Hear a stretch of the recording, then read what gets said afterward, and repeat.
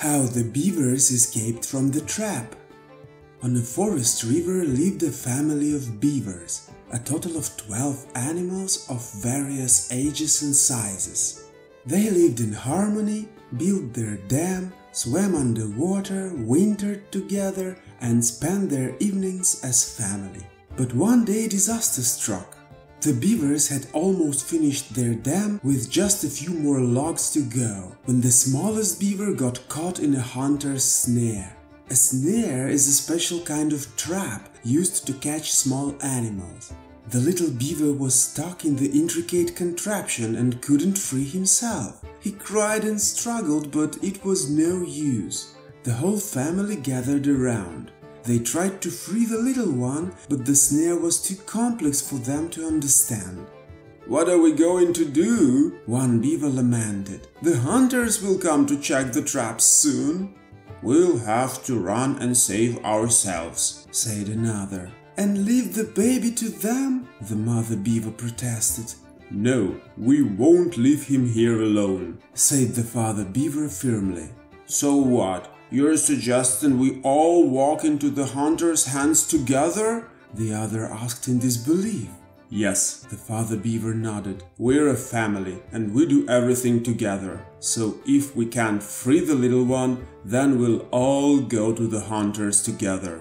But that's certain doom, the others exclaimed. Anyone who wants to leave can go, the mother beaver said resolutely. But I'm staying here with my baby.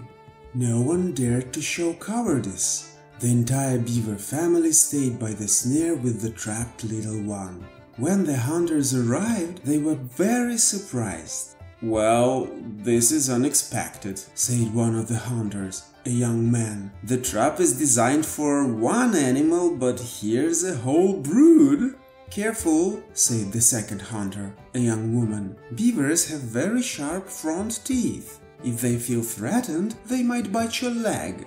All right, the young man replied, cautiously pointing his gun at the beavers just in case. We'll have to bag them and take them home. To the hunter's surprise, the beavers didn't resist at all as they were bagged and carried to the pickup truck parked on the forest road. Little did hunters know the older beavers had instructed everyone to stay calm and allow themselves to be captured.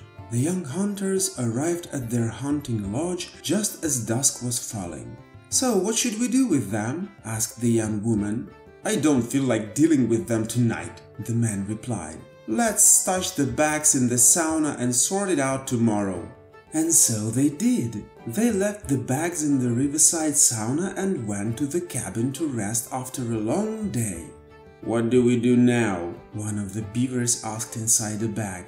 Didn't you hear what the young huntress said? replied the eldest. She said beavers have very sharp front teeth, so use them. Chewing through the bags was no trouble for the beavers. They quickly freed themselves, looked around, and burst out laughing. The beavers were laughing so hard they had tears in their eyes. Can you believe it? The mother beaver chuckled. They locked a family of beavers inside a wooden building.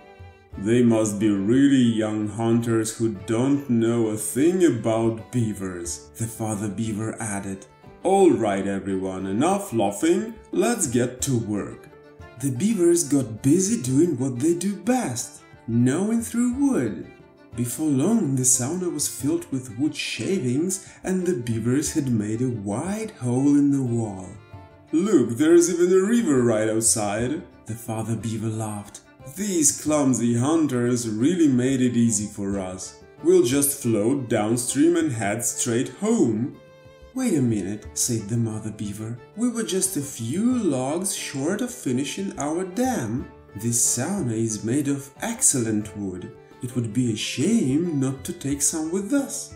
The beavers eagerly dismantled parts of the wooden building, taking several good logs with them. With jokes and laughter, all twelve beavers dove into the river, grabbed their prize logs, and swam home to finish their dam. The next morning, the young hunters emerged from their cabin, stretched after a good night's sleep, and stared in shock at the pile of wood shavings left behind where the sauna used to be.